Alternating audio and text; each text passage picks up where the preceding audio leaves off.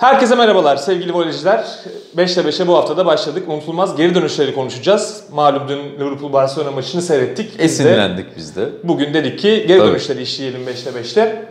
Nasılsın Evren Yusuf? İyiyim, sen nasılsın? Ben de iyiyim. Görüşemiyoruz bayağı. Çok uzun zamandır görüşemiyoruz. 12 saniyedir falan. Görüşemedik. Bu arada senin ikinci anonsun bu. Evet, İlk ikinci anonsu niye anons. anlatmıyorsun hiç izleyenlere? Anlatalım mı? ilk Anlat anonsu? hadi ya. Anlatalım peki. Bu şu mikrofon şöyle duruyor mu? Milletin de bileceği şeyler olması daha iyi. Sonuncu soru çok zor olacak. Azık. Sonuncu soruyu bilen kazanır. Helal olsun. 3-2'lik maçı aldık mı? Ben şu an oradayım bir çek edelim, çek edelim ya. Çek, vallahi, vallahi. Çek Cumhuriyeti maçı ya o yüzden çek etmek. Vallahi bir bak bak? Keseriz burayı.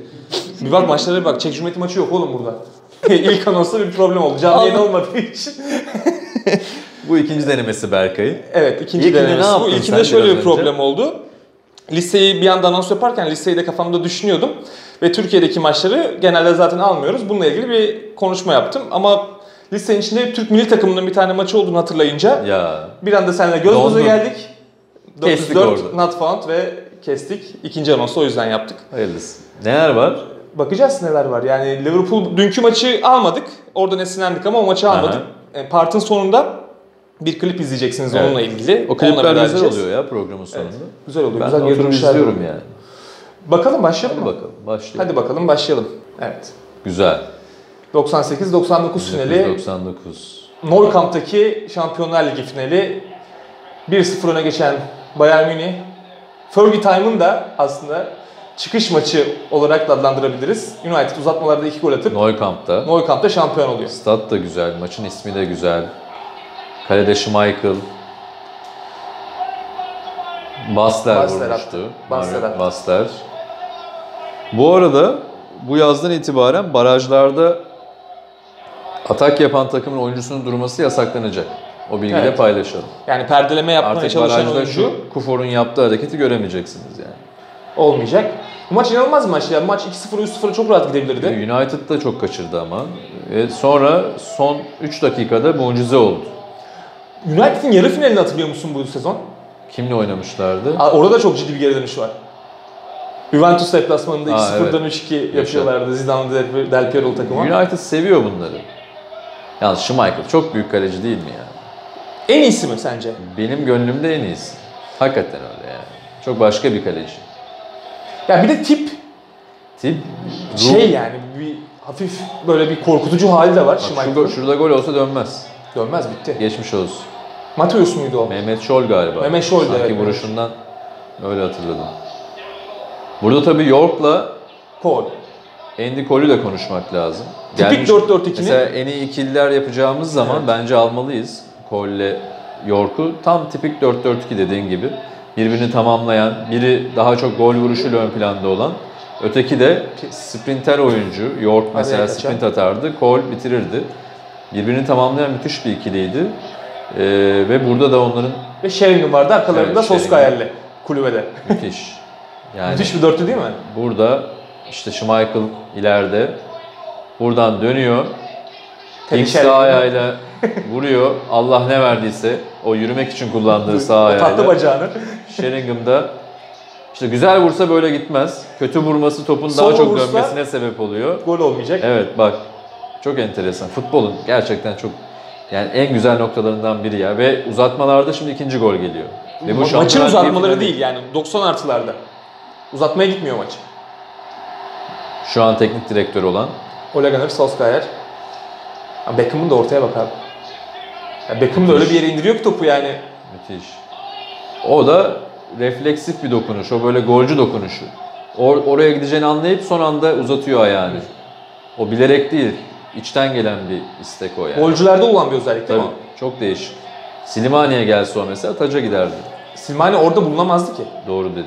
Ya oraya çok, gidemezdi çok yani. doğru bir kelime kullandın şu an. Topla buluşamazdı. Evet, çok güzel maçtı ve Manchester United bu maçta kupayı müzesine götürmüştü. İlk Şampiyonlar Ligi kupası. Daha önce Şampiyon Kulüpler Kupası var Manchester United'ın ama 93'te başlayan Şampiyonlar Şampiyonlar Ligi Ligi'nin formatında ilk, ilk- kupası.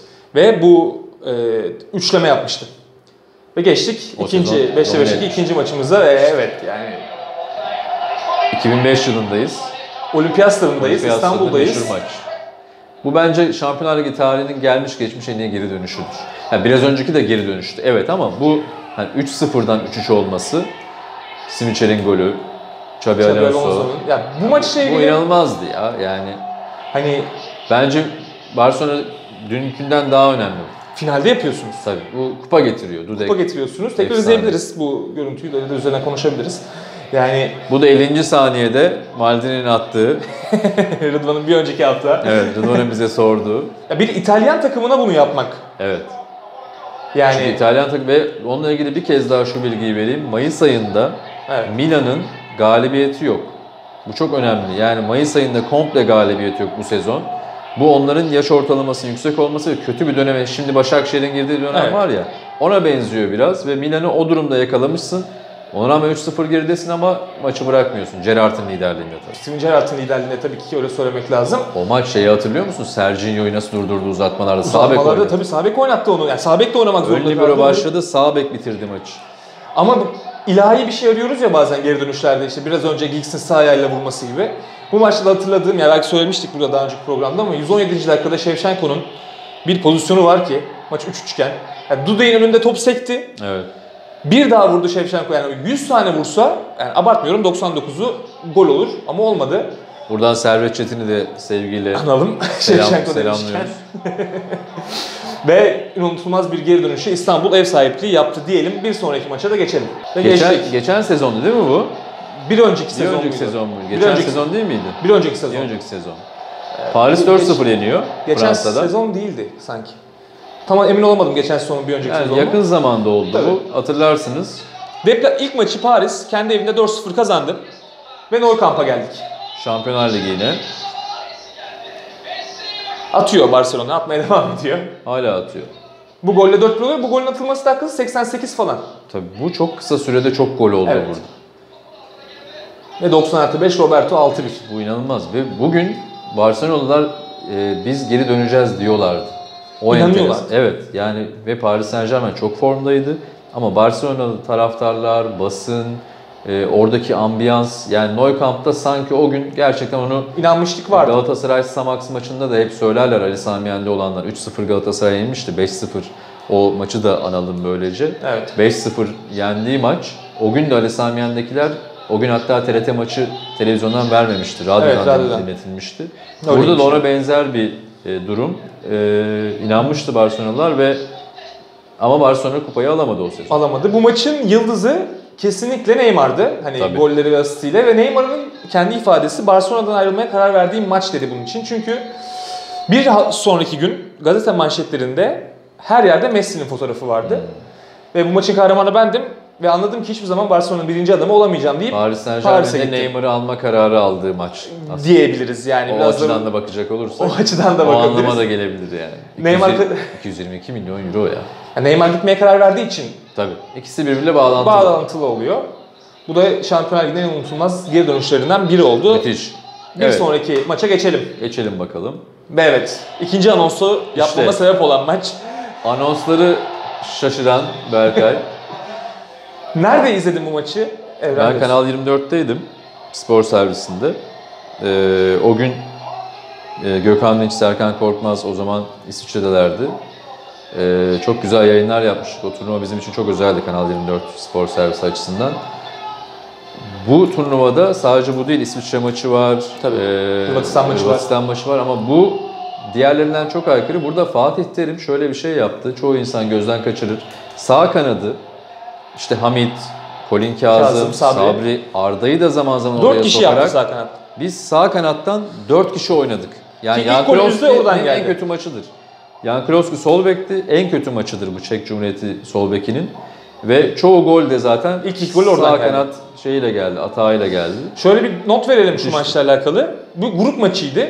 Son grup maçıydı. Ama öyle bir şekilde Çek Cumhuriyeti ile kalmıştı ki berabere bitseydi direkt penaltılara gidiyordu. Evet. Yani uzatma oynanmadan sadece penaltılar atılacaktı. Ee, Rıdvan Hoca'nın da gitmesin penaltılara 3. gole giderken Nihat serzenişi vardı. Ve oyuncu değişiklik hakkımız da doldu. Doldu. Yapma Volkan. Rıdvan Hoca'nın bayağı bağırmıştı Volkan ama orada. O gayri ihtiyari bir tepki tabii değil mi? Tabii Herkes yani, verdi o doldu tepkiyi. diyor oyuncu değişiklik hakkımız. Kim geçecek kaleye diyor ve Tuncay, Tuncay Şanlı kaleye kaleye geçti. geçti. İnanılmaz maç. Hikayesi ve şey, şey maç. bunu hayatında yapmadı. Hayatında yapmadı. Yani o arada dünyanın en iyi 3 kalecisinden biriydi o dönem. En top dönemi tabii Peter Şey'in. Hiç beklemezsin ondan yani. Yani ama rakip takımın hani hocasına da bir teşekkür edelim burada. Çünkü niye diye soracaksın. Niye? Sordum. Sordun. Maç 2-0 olduktan sonra bir Milan Baroş hamlesi yapsaydı kolleri çıkartıp o pivot 2 metrelik Evet, oyuncuyu çıkartıp doğru. arkada çok ciddi sıkıntı verebilirdi şu bize. geldi aklıma. ikinci golü yedik ya biz. Orada Emre Aşık kenardaydı galiba. Kafası Oyuna girecek. sarılıyor. Sarıldı. Oyuna girmesine izin vermedi. 10 kişiydi. Fatih Terim ve yardımcıları orada yani dördüncü hakeme ben bir şey yapacaklar zannettim artık. Çünkü hak etti de onu. Ya adam oyuna girmek istiyor. Oyuna sokturmuyorlar. Ve gol yiyoruz. Ve 2-0 dakika 60 küsür. 60'larda 2-0. Ve oradan geri döndük. Gerçekten Türk futbol tarihinin de En güzel en güzel geri dönüşlerinden bir biridir. tanesidir. Hırvatistan 2008'de maçıyla beraber. biz müthiş. aslında Almanya maçına geri döndük. Evet. Yani Almanya'da da Semih'in o kadar döndük ki unutuyoruz onu. yani. Almanya maçına geri döndük ama skor sonunda Filip da. Filip Lam'a maalesef yenik düştük. Bizi üzmüştü. Evet bu turnuvayı da Evet. Geçelim. yarı Evet, finalde İsviçre maçı var. E, Almanya'ya yenilerek elendik. Bizim için çok güzel hatırladığımız bir turnuva. Geçebiliriz. Müthiş. Ha, City'nin şampiyonluk City'nin maçı. şampiyonluk maçı. Şimdi burada da bir bilgi verelim öncelikle. Aynı saatte oynuyor United'la City. United maçını kazanıyor ve bekliyor. Ee, ve City 1-1'e düşüyor burada. 10 kişi kalıyor Queen's Park Rangers ve 2-1 yapıyor 10 kişiyle. Ve sonrasını izliyoruz. Dillerde bayram tabii. 10 kişi kalınca tabii. Bu golün dakikası 92. 90 artı 2 Müthiş. ve Agüero 90 artı 5. Burada Mancini hoca Evet. ve Roberto Mancini e, takım kurma açısından transfer anlamında bayağı sever transfer. Galatasaray'da çok 11 tane almıştı değil mi? Devre arası 9 Dokuz transfer oyuncu yapmıştı. İnanılmazdı. Burada da bu Manchester City'nin e, level atladığı sezondur. Hani o orta sıra takımından bazen hatta alt sıralar ikinci lige yani birincilik şampiyonşipe düştüğü zamanlar da var. E, level atladığı sezondur ve bir şeyleri başardıklarının işaretidir. Agüero da yani efsaneler arasına, City efsaneler arasına girdiyse Şu golle. bu golle zirve yapmıştır. İnanılmaz. Burada spikerin sesi de yani bir gol atıyorsunuz ve şampiyonluk geliyor. Ve maç bitiyor. Maç bitiyor yani. İnanılmaz. Yani United'lı oyuncular yerine koy kendini. Orada hani 2-2 maç, öbür taraf 2-1 hatta. 3 Tabii. dakika kalmış 2-1 mağlup Tabii. City. Direkt şampiyonsun ya. Sahada bekliyorsun, kutlamayı Evet. bekliyorsun. Ama inanılmaz bir şey yani. Bu futbolun ne kadar güzel bir oyun olduğunu ortaya koyan bir maçtır bu. City dediğin gibi abi burada bir sınıf atladı. Yani burada Tabii. şampiyonluğu bıraksalardı onca yatırıma rağmen belki Çünkü- o yatırımın şeyi de düşecekti. Yani sınıf atlamak istiyorsan kupa kazanacaksın. Peki Yani Balotelli'nin şu goldeki dokunuşu, Tabii. pası En az gol kadar kıymetli. kıymetli ve önemli. O dokunuş olmasa olmaz. Yani driblinge yöneltmiş oyuncu. Balotelli demişken Cagney'i de sevgiyle anıyoruz. Nasıl anıyoruz Cagney'i?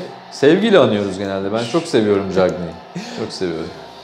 3 hafta sonra da böyle anabilir misin? 3 hafta sonra konuşalım mı? Bunu üç hafta sonra Ayrı bir. Cagney bölümü yapalım. Cagney'in kaçırdığı 5 gol diye.